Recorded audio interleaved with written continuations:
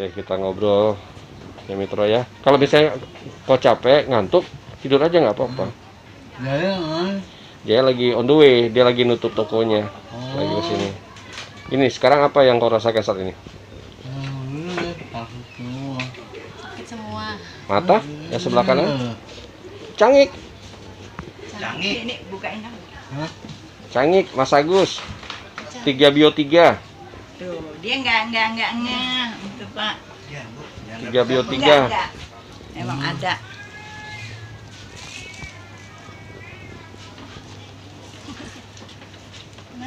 Kenal nggak? Mas Agus. Iya, Mas Agus. Dia dia malah tahunya Mas Agus. Nah. Diminum ya Pak ya. Iya, Bu. Nih, Dicobain. Kan kan panas. Enggak. Matamu yang sebelah kanan kenapa, Mitro? itu efek radiasi Oh, gitu. jadi ketutup Tapi bisa melihat. eh, Kalau dibuka, di, Bisa. diangkat. Oh, Nah. efek Maunya radiasi. kok ketutup aja kali. Iya, iya. Ah, maunya merem. maunya merem.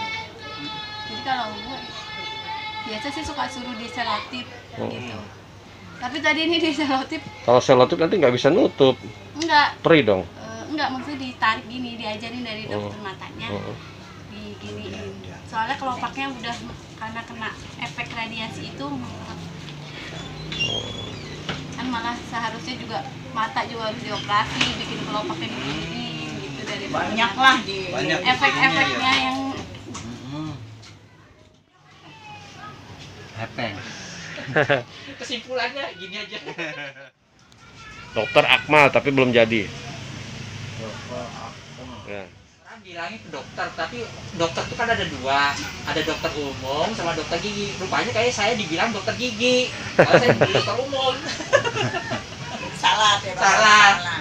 aku di dokter umum bukan dokter gigi Metro juga bisa tuh sekarang berobat dokter gigi. bukan aku kan dokter Ah. gigi Udah. Dokter umum dokter umum Udah yang umum udah udah lewat udah lewat. itu udah lewat itu Berarti kada luar dong. ya udah. ya orang bilang bilang dokter. Lah sama-sama plat hijau Hmm. hijaunya beda. Wilayah kerjanya juga beda. Hmm. satu di sini satu di sini. Kan beda Ayo, wilayah kerjanya